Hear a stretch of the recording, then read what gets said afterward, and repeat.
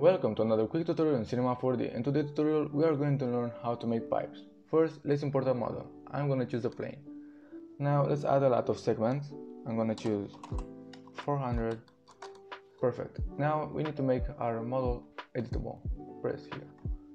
Perfect. Now go to sculpt, brushes, select, repeat. Perfect. Now if you use the version R19 you have in content browser all the pipes brushes. If you don't have them go to stamp go to image and I'm gonna upload a link with all the brushes and you can find them below. I'm gonna choose this one. Perfect. Go to follow. I'm gonna choose the pressure 100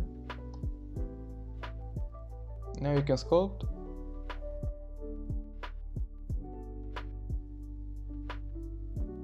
you have pipes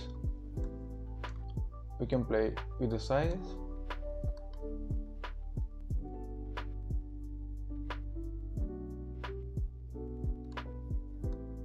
Perfect.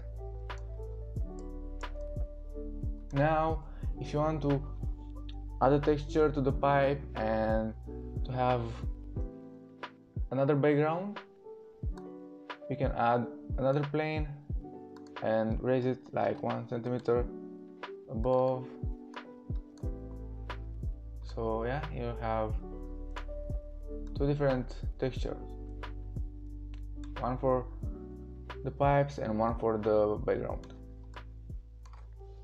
And that's it. It's that simple